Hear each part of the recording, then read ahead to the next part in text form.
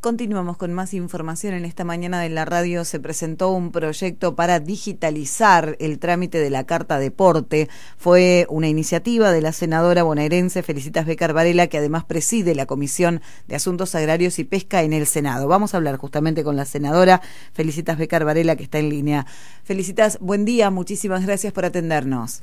Hola, muy buenos días, Andrea. ¿Cómo están? ¿Cómo están todos los vecinos de Peguajó? Les mando un saludo grande desde acá desde casa. Eh, felicitas. Como se nos pide. De local hoy. De local, totalmente. Eh, felicitas, bueno, una, una nueva iniciativa que fue eh, presentada en este caso y como integrante, como decíamos, de la Comisión de Asuntos Agrarios. Contanos de qué se trata. Bueno, nosotros eh, trabajando mucho con los productores y con todo lo que tiene que ver con el transporte y, y el interior productivo, muchos de los problemas que nos encontrábamos, además de la desorganización que hay a nivel nacional y este, entre cada municipio respecto de si te dejan pasar, si no te dejan pasar, y, muchos de los, de los trabajadores rurales y los transportistas rurales están teniendo estos conflictos porque cada provincia está regulando su, su tema como quiere, cada municipio está manejando sus propias normas, entonces la verdad que se complica y mucho. En este sentido, nosotros también detectamos que todo el tema de la carta de deporte eh, también hacía, además de, que hace tiempo, es una historia que ya conocen todos los transportistas, la, pérdida de tiempo que se, que se hace cada vez que llegan a los puertos y a los centros de, acopio. Este, nosotros veíamos que además en este contexto donde eh, estamos de, eh, con la pandemia, se están exponiendo a un alto riesgo de contagio. Entonces empezamos a observar que eh, si bien la carta, digamos, el trámite de la carta de deporte está semi-digitalizada, porque hay una parte que sí está digitalizada, hay otra parte que se continúa en papel. Eh, una vez que se otorga el, el, formulario este, tienen que imprimir un formulario y llenarlo a mano. Y muchas veces ese formulario llenado a mano tiene errores y demás, y para rectificarlo es un trámite. Y además eso también genera mucha pérdida de tiempo. Entonces, eh, lo que nosotros estamos pidiendo es que eh, desde la provincia se articulen todos los medios necesarios para que en, en los ministerios de nación que correspondan eh, generen esta situación de la digitalización completa del trámite de la Carta de Deporte.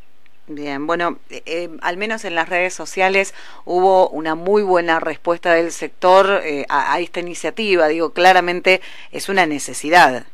Sí, porque además ahorra mucho tiempo eh, y uno se va con el trámite ya en la mano, o sea, con, la información, si la información es toda digital, ya tenemos en la actualidad tecnologías suficientes para que con solo la lectura de patentes, si se pudiera hacer directamente con las cámaras especiales, ya se habilita la entrada haciendo un control eficiente y que no va a tener, no tenés demora y no tenés contacto. Entonces, eso ayuda y mucho, no solo al productor, sino al transportista, claramente.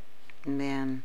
Eh, ah, bueno, además obviamente no de tener toda la información centralizada en un, en un mismo organismo y que bueno, como te digo, el tema del control y que no tenga errores. Vos ya te vas con la carta eh, lista y si tenés el error lo detectas antes y no andas como eh, con, después con problemas por eso, ¿no? Por los formularios mal completados a mano. Bien. Eh, ¿Ya fue presentado el, el proyecto? Sí, eso nosotros lo presentamos la semana pasada eh, o esta semana. Pues uno pierde la noción del tiempo. Dice que al final decís, fue el lunes y en realidad por ahí pasó ayer, no sé. Eh, y además, entre otras propuestas que estuvimos eh, presentando, eh, sí, en estos días lo hicimos. Así que el, suponemos que va a dar ingreso en la próxima sesión ordinaria que esperamos sea, no sé si esta semana, la no, la semana próxima o la siguiente. Creo que se había fijado fecha para después del 17, la próxima sesión ordinaria, así que ahí entrará. De todas formas, creo que esto es un trámite que esta presentación es, un, es una forma de visibilizar la situación y la problemática, ¿no? Eh, esto si, si realmente toman nota desde el gobierno podrían implementarlo directamente, sin necesidad de que nosotros eh, tuviéramos que acercar la preocupación y la inquietud.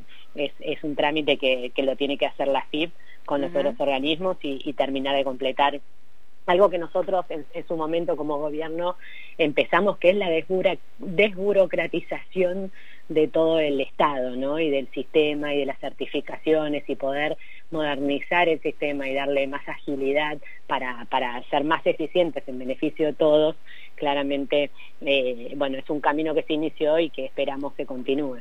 Bien, felicitas, eh, mencionabas recién que se está trabajando también con otras iniciativas, ¿hay algún otro proyecto presentado o eh, por presentar, digamos, eh, desde el bloque? Nosotros, bueno, el, bloque siempre está trabajando en todas las cuestiones que tienen que ver con paliar la situación de crisis que se está viviendo en este momento, ¿no? Hay distintas iniciativas desde las, de las distintas comisiones que hoy tienen que ver con la situación de crisis económica que está sufriendo la provincia, que es por la cuarentena y es por la pandemia. O sea, claramente ante la pandemia se determinó una cuarentena eterna, donde la situación se está, eh, ya no se puede llamar cuarentena, porque no, claramente así no, no, no es, porque ya pasaron bastante más días que 40, y estamos tratando de trabajar en iniciativas que tienen que ver con ayuda a los clubes de barrio, eh, hay un proyecto presentado por la senadora Rey muy, muy fuerte y muy interesante que tiene que ver con subsidios y ayuda a los clubes de barrio y las asociaciones civiles eh, para este momento donde tienen que permanecer cerrados, que claramente en contextos como el nuestro hoy podría empezar a pensarse en, la apertura de los mismos eh, al aire libre de, determinados deportes. O sea, acá tiene que ver con qué qué intención le pone cada municipio y qué ganas eh, y qué voluntad y cabeza le pone para tratar de articular distintas situaciones. Tenemos intendentes como el de Mar del Plata que eh, están haciendo todo el esfuerzo para que vuelvan las, aulas, eh, los chicos a las aulas de manera presencial. De alguna manera, nadie está diciendo que van a volver como, como era antes, pero de alguna manera que vuelvan, sobre todo aquellos alumnos que no han podido continuar, eh, o sea, sostener la continuidad pedagógica por falta de recursos y por falta de herramientas. Perfectamente es posible congregar a esas familias, llamarlos y, darles una oportunidad de que ese alumno sí tenga un contacto con el docente de manera personal, espaciada y demás. Bueno, se están implementando muchísimas de estas, de estas formas, ¿no? Eh, hay un valor por la educación y hay un valor por, por no soltarle la mano a esas familias que, están en una situación demasiado vulnerable como para que además eh, se pierdan los contenidos pedagógicos. Eso y además lo emocional, ¿no? Lo psicológico. Sabemos todo, hay chicos que que, realmente eh, la falta de, ese contacto y de esa sociabilización les está afectando en mucho. Entonces depende de cada, hoy eh, realmente está dependiendo mucho de la voluntad de los intendentes de las, en las aperturas. Ya lo decía ayer el ministro de Salud de la Nación, dice eh, que hay muchas cosas que no se han pedido, hay cosas que no se abren porque los intendentes o los gobernadores no las piden.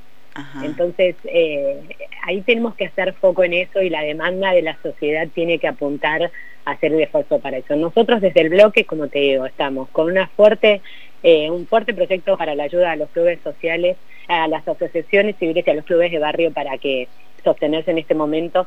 Estamos intentando la ayuda a los colegios privados, que sabemos que hay muchos colegios que eh, parroquiales y, privados que en este momento eh, muchos padres han dejado de pagar la cuota porque han perdido el trabajo o porque han perdido ingresos.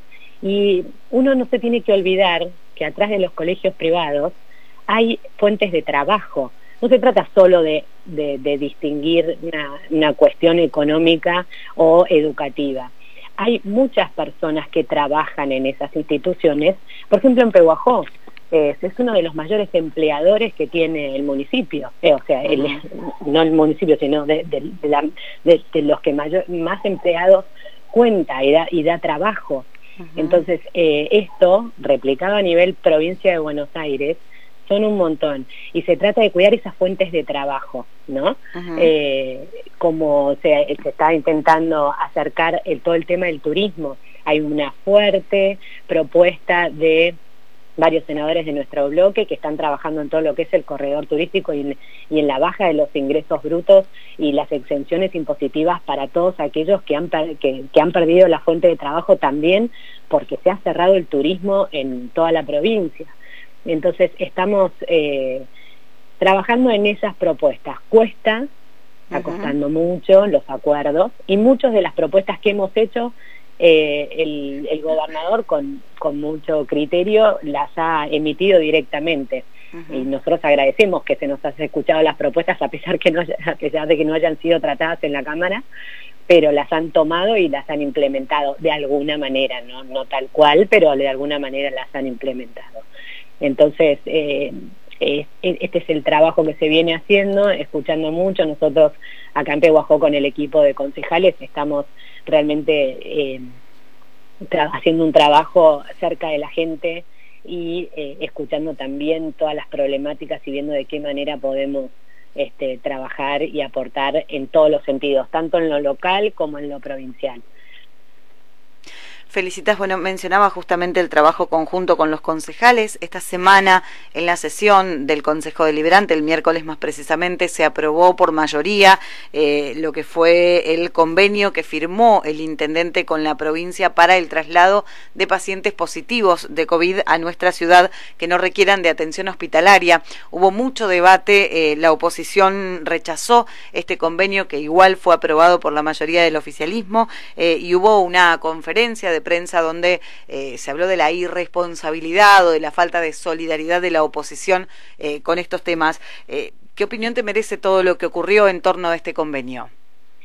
Bueno, el, convenio es un convenio marco que, dispuesto por el gobierno provincial y, que claramente está haciendo mucho ruido en todos los municipios, porque los vecinos que están acá cuidándose de, esta enfermedad y de los contagios y que no los dejan salir y que no pueden ver a sus familiares, ni sus familiares pueden venir a visitarlos porque viven en, en Henderson, por ejemplo, o en Casares, no estamos hablando de los que viven en el conurbano, ni siquiera... Eh, eh, eh, incluso se está dificultando esa situación, realmente sienten, y además los vecinos, nosotros sabemos lo que es nuestro sistema de salud, y esto lo digo en Pehuajó como en, en cada uno de los municipios donde están teniendo estos cuestionamientos. En los sistemas de salud en general estamos bastante flojos eh, eh, y en Pehuajó siempre tuvimos un tema con el sistema. Muchas veces, muchos años nos ha pasado de no tener la atención eh, que, correspondía y hemos sido derivados a un montón de lugares porque acá faltaban cuestiones. creo que hay que escuchar un poco a la gente y lo que siente el vecino este, después de estar encerrado y quiere que si viene acá los contagios podamos tener cómo atendernos. Eh, que tengamos, que, se nos resuelva la problemática en nuestro lugar, porque además empieza todo el tema del traslado de los familiares, que quien te cuida, las familias tienen hijos, cómo se hace con, con los hijos que quedan por ahí también en riesgo de contagio expuestos. Bueno, eh, son muchísimas cuestiones. Eh, yo creo que, que en este sentido hay que escuchar al vecino y lo que siente respecto a este tema. Acá claramente lo que se hizo fue lealtad kirchnerista o sea, este convenio se firma porque hay una lealtad al gobierno que, que el gobierno está pidiendo que los municipios firmen estos convenios y reciban pacientes de donde sea, porque el convenio no establece que solo se puede recibir pacientes de ciudades vecinas. Si quiere venir gente o necesita venir gente del conurbano para acá, va a venir. Y eso es así, porque el, gobierno, el, el convenio no especifica de dónde tiene que venir el paciente. Cuando, si esto se, y ojalá no pase, ojalá no tengamos que recibir a ningún paciente porque no haya contagio, ¿no? Y porque el sistema de salud haya sido preparado después de 150 días en el AMBA para, para atender a los pacientes en el AMBA. Eh, entonces, es simplemente eso, es lealtad kirchnerista y necesidad de recursos. Eh, es básicamente así. Ningún, ningún intendente está, o por lo menos los que forman parte de este espacio político que gobierna, está dispuesto a que después por no firmar estos convenios no le lleguen las obras que espera o no le lleguen los recursos que necesita. Sabemos cómo se manejan y hemos conocido la historia de las viviendas y los programas federales de vivienda, que para recibir viviendas también teníamos que recibir gente que venía de eh, ciudades muy conglomeradas y con órgano bonaerense. Y eso es un dato de la realidad, no, no, es un invento mío, y todos sabemos que eso pasó en otra, en otra época, hace unos, unos años, ¿no? Eh, bueno, es, es algo parecido a lo que está pasando ahora. Yo deseo con todo mi corazón que nosotros no tengamos que recibir pacientes, pero porque los pacientes no existan, digamos, porque realmente hayamos podido fortalecer los sistemas de salud en el AMBA para que no tenga que venir nadie y cada uno en los municipios pueda atender sus propias contingencias. Y porque además los vecinos eh, hayamos aprendido a cuidarnos, ¿no? Aunque puede pasar porque el virus existe y está. y, no estamos exentos de que nos toque. Eso es una realidad que tenemos que empezar a aprender a convivir. No tener miedo, sino tener responsabilidad y empezar a vivir con esto. Pero bueno, eso es una opinión personal y, y así lo sostengo desde el día uno, eh, a pesar de eh, los, los ataques y las opiniones en contrario. Yo respeto todas las opiniones y respeto todos los miedos. Simplemente expreso una opinión y creo que así debemos manejarnos. ¿no? Felicitas como siempre, muchísimas gracias por la información. Gracias a ustedes, André, que tengan muy buen día. Igualmente, hasta luego. Adiós, hasta luego. Felicitas Becar Varela, senadora de Juntos por el Cambio, hablando de los proyectos presentados. Por un lado, el pedido de digitalización total de la carta deporte que facilite eh, la, tarea eh, y el control en el sector. Por otra parte, hablando de una serie de proyectos que se están presentando desde el bloque y que tienen que ver con responder a necesidades de distintos sectores en el marco de esta pandemia. Y por último, hablando del convenio eh, y reiterando esto que es una realidad en el convenio por escrito, no constan los que eh, verbalmente nos indican las autoridades.